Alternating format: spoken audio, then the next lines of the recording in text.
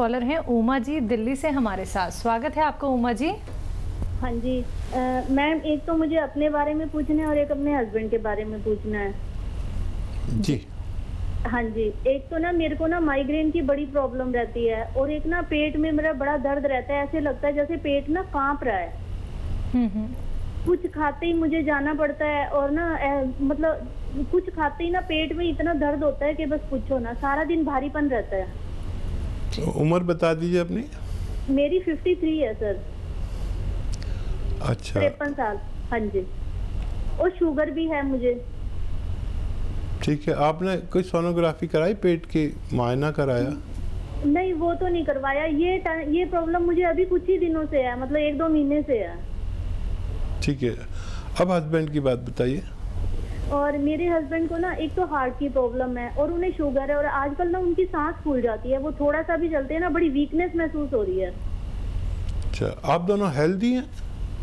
मेरे हस्बैंड ज़्यादा हेल्दी है मेरा तो वेट फिफ्टी एट है और उनका होगा सेवेंटी फाइव एट्टी फाइव के आसपास। अच्छा देखिए अपने हस्बैंड को गर्म पानी पिलाया करिए एक दिन में पाँच बार। ये उनके लिए दवाओं से भी अच्छा है। और शुगर हार्ट प्रॉब्लम और कोलेस्ट्रॉल। इसके लिए मैंने अभी एक नुस्खा बताया था, आप अगर देख रहे थे चैनल। देखिए, नींबू का जूस निकालिए, अदरक का जूस निकालिए, लहसुन का जूस निकालिए और जैतून का सिरका मिलता है। ज़रा मुश्किल से मिलेगा, लेकिन जैतून का ही सिरका लिए इन सबको हम वज़न, यानी बराबर एक एक लीटर सबको लीजिए, मिला दीजिए। और इसके तीन चम्मच सुबह नाश्ते के बाद, तीन चम्मच शाम को खाने के बाद। ये एक तो कोलेस्ट्रॉल नहीं होने देगा, हार्ट ब्लॉकेज नहीं होने देगा, होगा तो खोल देता है। अच्छा नुस्खा है ये, काफ़ी भरोसे का नुस्खा है। ये उनको शुगर को कंट्रोल करेगा। वो दवा भी खाते रहें, जो शुगर की खाते हैं, लेकिन ये शुगर की दवाओं के नुकसान को रोक लेगा और आपके हस्बैंड का वज़न भी कम करेगा कोलेस्ट्रॉल भी कम करेगा। और बड़े अच्छे नतीजे आते हैं इसके। आप बना लीजिए और शोहर को दीजिए। आपको भी तसल्ली रहेगी कि आपने कोई दवा बना के अपने हस्बैंड को दी है। आपके जो दर्द होता है, मैं चाहता हूँ कि आप उसकी सोनोग्राफी ज़रूर कराएँ। ऐसी कैफियत में अक्सर पथरी पित्ते में हो जाती है। ये उम्र और ये मर्ज़। तो मैं चाहता हूँ कि आप अपना सोनोग्राफी करा लें उससे पता चल जाएगा कि पथरी है कि नहीं है। पथरी हो तो फिर उसका इलाज करना है। और एसिडिटी हो तो एसिडिटी की दवा से चली जानी चाहिए। ये कैफियत पथरी होने की अलामत है। मेरे तजर्बे के मुताबिक अगर नहीं है पथरी तो फिर आप के लिए बहुत खुशी की बात है। आप एक चम्मच अलसी भून के रखें, अलसी को लेकर एक चम्मच सुबह, एक चम्मच शाम। चबा के खाएँ पाउडर बना के खाएँ गर्म पानी से। दोनों लोग गर्म पानी पिया करें एक दिन में पाँच बार तो आप दोनों सेहतमंद रह सकते हैं। हमारे साथ अशोक जी हैं बंगाल से। स्वागत है आपका। जी। हेलो नमस्कार हकीम साहब। आदाब अशोक जी बताइए क्या सवाल है? जी हकीम साहब मेरा दरअसल घुटने में बहुत ज़्यादा दर्द रहता है। और इसके लिए कोई इलाज है तो बता दीजिए। कितनी एज कितनी है आपकी अशोक जी? मेरी एज है फिफ्टी टू ईयर्स अच्छा देखिए एक घरेलू इलाज ही है। देखिए एक गोंद आता है। जैसे आप तरह तरह की गोंद समझते हैं। हींग भी एक गोंद है जो हींग आपके यहाँ इस्तेमाल होती है। कीकर का गोंद इस्तेमाल होता है जो महिलाएँ डिलीवरी के बाद खाती हैं। और एक गोंद आता है, आप लिख लीजिए उसे। गोंद स्याह यानी काला गोंद। गोंद स्याह एक कड़वा गोंद है। बाकी गोंद कड़वे नहीं होते, फीके होते हैं या कसेले होते हैं, लेकिन ये गोंद सिया मतलब काला होता है और कड़वा होता है। और ये खुराक आपको ऐसे दस ग्यारह रुपए रोज़ की खुराक पड़ेगी। ये आप ले लीजिए। अ, गोंद सिया ये मटेरियल है रॉ मटेरियल इसका पाउडर बनाइए। कूट कर पीस कर जैसे भी ग्राइंडर में। और आधा ग्राम सुबह नाश्ता करने के बाद और आधा ग्राम शाम को आप इसे पानी से जूस से या बगैर चर्बी के दूध से जैसे आपके हालात हैं आप गरीब हैं तो पानी से भी फ़ायदा करेगा। और जूस पीने के आपके हालात हैं तो उससे भी फ़ायदा करेगा। आप दूध पीने के हालात हैं, उससे फ़ायदा करेगा। और ये आप अगर 100 डेढ़ सौ ग्राम ले लेंगे तो ये ख़त्म होने तक या उससे ही पहले आपकी बीमारी का ठीक होना मुमकिन है। तो चलिए आपकी बीमारी का ठीक होना बिल्कुल मुमकिन है लेकिन उसके लिए आपको ये उपचार करने होंगे। चलिए नेक्स्ट कॉलर से बात कर लेते हैं। हमारे साथ गुलफाम शेख अमरावती से जुड़ गए हैं। स्वागत है आपका। हेलो। हेलो। हेलो। बताइए। जी मैं गुलफाम शेख बोल रहा हूँ अमरावती से। जी। जी। मुझे हकीम साहब से पूछना था कि सर मुझे यूरिक एसिड का काफ़ी प्रॉब्लम है। उसके कारण अभी बोन्स में काफ़ी दर्द होना स्टार्ट हो गया है। कुछ टाइम से मेरी एज 24 है। ठीक है। अच्छा देखिए, जिन लोगों को भी यूरिक एसिड की परेशानी है तो वो खट्टी चीज़ें खाना बंद कर दें। चाहे आम खट्टा हो तो नहीं खाएँ, मीठा हो तो खा लें। दही खट्टा हो तो नहीं खाएँ, मीठा हो तो खा लें। यहाँ तक कि नींबू, आम का अचार, ये सब छोड़ दें। तो बगैर दवा के भी आप ठीक हो सकते हैं। और ये एक फ़ंक्शन है जो यूरिक एसिड हमारे जिसम में होना बहुत ज़रूरी है, लेकिन जब ज़रूरत से ज़्यादा हो जाता है तो वही हमें तकलीफ़ देने लगता है और हमारे जोड़ों पर जाकर ये एसिड एक नमक के किस्म का होता है, वो बैठ जाता है। तो एक घरेलू इलाज है। देखिए, अलसी लीजिए 400 ग्राम। 400 ग्राम अलसी ख़रीदें साफ़ सूफ करें और हल्का सा भून के पाउडर बना लें। और इसमें गौन मोरिंगा आता है थोड़ा महँगा आता है।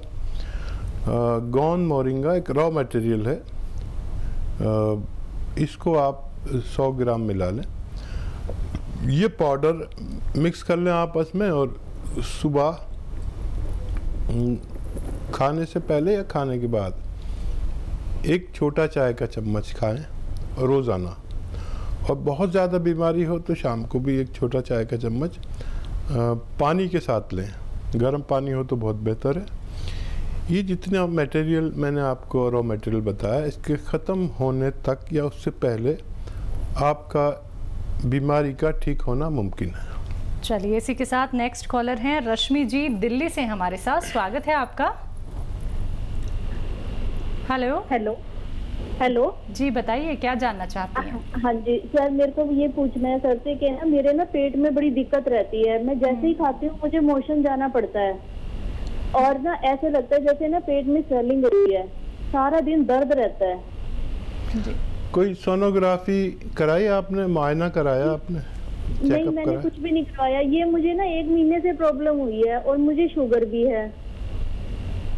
ठीक है ठीक है। कम उम्र में शुगर हो गई आपको। और अगर अपना चेकअप करा लें तो बहुत अच्छा है। और देखिए शुगर का इलाज आप करते होंगे और शुगर वाला पेशेंट को पेट में प्रॉब्लम भी रहती है। एक इलाज है, अगर आप कर लें। देखिए सिरके आपने बहुत देखे होंगे। सेब का सिरका गन्ने का सिरका अंगूर का सिरका सब आते हैं। एक एक सिरका आता है जैतून का सिरका जैतून, यानी ऑलिव ऑयल आता है ना तो ये ऑलिव का सिरका आता है। ये आप रात को सोते समय दो या तीन चम्मच एक गिलास पानी में डालें और पीकर सो जाया करें। आपकी शुगर भी कंट्रोल करेगा और पेट में भी बहुत फ़ायदा करेगा आपको। आप इसे लेके देखें, आपको फ़ायदा मुमकिन है। तो चलिए आपको फ़ायदा ही फ़ायदा हो सकता है दर्शकों। देखिए, तभी तो आप लोगों से कहा जाता है कि आप लोग यूनानी पद्धति से जुड़िए, आप लोग घरेलू उपचार अपनाइए। जहाँ आप लोग सिर्फ़ डॉक्टर्स के चक्कर लगा लगा के थक चुके होते हैं और तब भी आप लोग सिर्फ़ और सिर्फ़ दवाइयों पर निर्भर हो जाते हैं। ना जाने कितने रोग आपके शरीर को जकड़ लेते हैं। तो अगर आप लोग हकीम साहब जी से बात करना चाहते हैं तो नंबर्स आप लोगों के सामने लगातार दिखाए जा रहे हैं। इन्हीं नंबर्स पे आपको संपर्क साधना है। आइए बात कर लेते हैं नेक्स्ट कॉलर से हमारे साथ रमेश जी हैं मुंबई से। स्वागत है आपका। हेलो। जी बताइए क्या जानना चाहते हैं? जी मेरी एज जो है है और मेरे बाल बहुत जड़ने लगे हैं। जी। हम्म, नज़ला वगैरह? नहीं नजला कुछ नहीं रहता बाकी सेहतमंद हूँ बस बाल झड़ रहे मेरे। ठीक है। तो देखिए मैंने भी तकरीबन 20-22 साल महाराष्ट्र में गुजारे हैं। और देखिए, मैं बुढ़ा आदमी हूँ और मेरे सारे बाल ओरिजिनल हैं और वहाँ महाराष्ट्र में मुझे भी ये परेशानी हो गई थी कि मेरे बाल गिरने लगे थे। तो वहाँ पर जगह जगह पर, हर गली पे, नुक्कड़ पे नारियल पानी मिलता है। मैंने रोज़ पीना शुरू किया और मैं तो बहुत ज़्यादा पीता था। आप एक नारियल पानी रोज़ाना पिया करें आपके बाल झड़ना बंद हो सकते हैं। आप ये कोशिश करें एक घरेलू उपाय है आप करके देख सकते हैं। चलिए नेक्स्ट कॉलर हैं राजेश जी दिल्ली से हमारे साथ। स्वागत है आपका Rajesh ji. Thank you ma'am जी बताइए प्रश्न कीजिए। मैम मेरी बेटी की ना बहुत तबीयत खराब है मैडम जी। हम्म हम्म। वो क्या टीवी है सर मैडम। जी। एक बार तो दोबारा मैडम बताइए। मेरी बेटी है पूर्णिमा। हम्म हम्म। पंद्रह साल की बेटी मैडम उसको टीवी है। जी। तो वो लेटती है तो मैडम खांसी बहुत उठती है उसको बैठने से सारी हर रात बैठे रहती है कितने दिन हो गए बैठे बैठे मैडम? ठीक। तो डॉक्टर कहते हैं पेट पेट में पाइप डाल के ना हवा निकालेंगे पानी निकालेंगे। मैडम बहुत कमज़ोर बच्ची है मेरी। ठीक है। हेलो। जी जी मैं समझ गया और आपकी तकलीफ़ मैं महसूस कर सकता हूँ। देखिए टीबी का सबसे अच्छा इलाज एलोपैथ में है। और जो आप इलाज कर रहे हैं, वो छोड़ें नहीं। और अगर पेट में से पानी निकालने की ज़रूरत पड़े तो वो भी निकलवाए। वो बेहतरीन इलाज है। और एक घरेलू नुस्खा ये साथ में देना शुरू करें। देखिए, हम लोग गाँवों की ज़बान में कहते हैं लिसोड़ा। लिसोड़ा आप समझ सकते हैं वरना लिसोड़ा लिख लीजिए।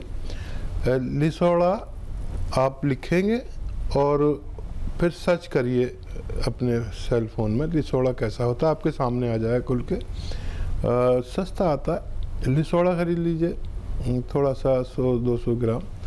और ये गोल गोल वो होते हैं पीस होते हैं। ये एक चम्मच में जितने आए, छोटे चाय के चम्मच में, इसे डेढ़ गिलास पानी में भिगो दे थोड़ी देर, फिर आधा एक घंटे बाद इसे उबालें।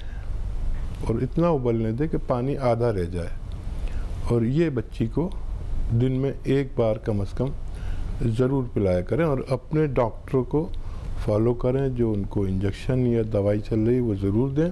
और अगर पानी निकालने की ज़रूरत पड़े तो ज़रूर निकलवाएँ, उससे बहुत आसानी हो जाएगी और ये लिसोड़ा उनके अंदर दोबारा से टीबी नहीं पनपने देगा और सेहत अच्छी हो जाएगी, बुखार में कमी करेगा और ये भी आप जारी करें और अपने डॉक्टर को फॉलो करें। बिल्कुल। राजेश जी, परेशान होने की बात ज़रूर है, लेकिन जो बातें आपको यहाँ पे अभी हकीम साहब जी ने बताई हैं, उन बातों को आप फॉलो कीजिए और जो आप डॉक्टरी परामर्श ले रहे हैं, वो भी चीज़ें आप फॉलो अवश्य कीजिएगा। बिल्कुल लाभ मिलेगा, लेकिन थोड़ा सा संयम आपको अवश्य रखना होगा। हकीम साहब जी, आप सभी से जुड़े हुए हैं और आप सभी भली भांति ये जानते हैं कि बहुत व्यस्त रहते हैं और कामयाब हकीमों में से एक जो आपके सभी रोगों का निवारण बता सकते हैं, क्योंकि यहाँ पे आप लोगों को सीधा घरेलू उपचार बताए जाते हैं, आपके किचन से आप लोगों को जोड़ा जाता है, आयुर्वेद से जोड़ा जाता है, यूनानी पद्धति से आप लोगों को जोड़ा जाता है। तो अगर आप लोग हमसे जुड़ना चाहते हैं, फ़ोन उठाइए, नंबर्स पे कॉल कीजिए जो आपके सामने लगातार दिखाए जा रहे हैं।